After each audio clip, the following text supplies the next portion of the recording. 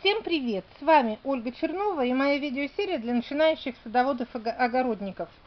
Многих интересует вопрос, нужно ли ослеплять нижние вот эти вот пазухи листьев, ну как выщипывать пасынки, и как вообще формировать кусты наших огурцов.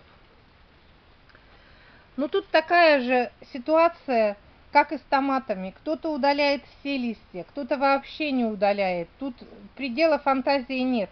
Я вам сейчас расскажу, как нужно формировать куст. Классический способ формирования, которым пользуются многие на протяжении многих десятилетий. Как делаю я и как можно вообще это делать. Вот покажу на этом кусте, потому что он только начал, молоденький кустик у меня. Вот смотрите, по классической, как установленной схеме формирования кустов – Первые четыре рекомендуется все-таки ослеплять. Вот четыре пазухи нижних листьев. Вот первый лист раз, второй лист два, третий лист три и четвертый это вот. В четвертом уже у меня тут, видите, вырос пасынок. Сейчас я расцеплю. На котором вот такие тоже уже маленькие огурчики – и вся проблема в том, что у многих не поднимается рука их удалять. Но так как я сейчас показываю классическую схему формирования куста, я его обрезаю. Сразу замечу, что я это делаю не всегда. У меня тоже иногда не хватает силы воли, и я вот этих маленьких молоденьких оставляю.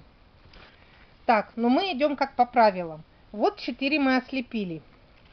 Раз, два, три, четыре пятый и шестой лист, если дает пасынок, нужно оставлять 20 сантиметров. Самые короткие нижние. Вот видите, вот они огурчики. Я оставляю 20 сантиметров и обрезаю. Со следующих двух листьев, двух-трех, если будет, ну как, вырастать вот этот пасынок, оставляем 40 сантиметров на высоте, там, где будут дальше выше, оставляем 60 сантиметров. Принцип поняли, что здесь убираем совсем первые листья, следующие 20 сантиметровые, потом 40 сантиметровые, потом 60 сантиметровые. Все. В высоту даем вырасти ну, огурцу 2 метра. Ну, докуда, как позволит ваша шпалера. Потом рекомендуется его там перекинуть насколько можно оставить 60 сантиметров и прищипнуть. Все. Тогда будет формирование плодов именно вот на центральном, он не будет разрастаться. Но опять же, это такая ситуация, формируют обычно в теплице. Никто не формирует огурцы, если они высажены в открытом грунте. Я вот здесь, видите, как у меня они растут в мешках, они стоят часто, и поэтому здесь мне, конечно, придется формировать эти кусты огурцов, чтобы они не загораживали друг друга. Вот они будут идти каждая вот так вот по одной веревочке, чтобы они не разрастались.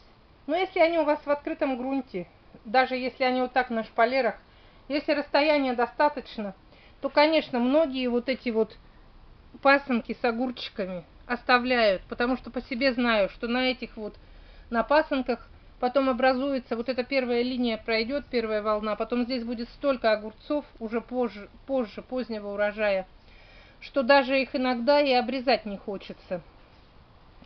Но как принято, как рекомендуют специалисты обрезать, формировать куст, я вам показала. Четыре первых убирают, два следующих 20 сантиметров, 40, 60. И чем выше, тем длиннее оставляют пасынки. Потом после двух метров перекидываете, прищипываете. Все. Придерживаться вам этой схемы или нет, вы должны решить сами. Еще раз говорю, если в открытом грунте места много, то можно некоторые пасынки оставлять. Я иногда вообще как в диком виде их выращиваю. Посадила, сколько выросло, столько и выросло. Я больше чем уверена, что в селах, в деревнях люди так и делают. Некогда человеку, который занят на работе, ходить вымерять 20 сантиметров, 40, 60, прищипывать. Каждый выбирает свой способ выращивания огурцов. Но какой способ ваш, вы поймете только после того, когда вы попробуете все виды и способы выращивания. и с прищипкой, и без прищипки, с формированием куста или без формирования куста. Еще раз говорю, что огород это такое поле для фантазии, такой размах. Здесь можно придумать и свой метод, и пользоваться чужими. И можно просто выращивать по принципу посадил и забыл. У меня вот эти вот огурцы, которые в мешках. В прошлом году у меня не было времени, я вообще их не формировала. Они сплошной стеной затянули всю эту теплицу и росли как хотели. Вот по этим деревянным стеллажам расползлись, какие-то вообще вон туда на окно залезли. Ну и также был большой урожай, зато я сэкономила время. Так что решайте сами, стоит ли вам вымерять вот здесь линейками, прищипывать, не прищипывать. Ну еще раз повторю, ну как положено, я вам рассказала. Вот этот классический традиционный метод формирования огуречных кустов. Все, до свидания. Заходите ко мне на страницу в Одноклассники. Ольга Чернова, 56 лет, город Бийск, Алтайский край. Вот это сорт Настенька, это гибрид. Конечно, он меньше израстает пасынками, и его проще формировать. Нет столько много порослей. Но гибридов я выращиваю очень мало. Я выращиваю почти все сортовые, из которых можно собрать свои семена.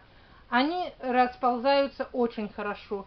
Поэтому вот здесь теплицы нынче буду прищипывать их, чтобы урожай получился как, ну, чтобы хороший, не было мелочи сильно много. Потому что когда прищипываешь и формируешь, все-таки им посвободнее здесь, больше солнца и будем, короче, нынче по правилам выращивать. Все, до свидания.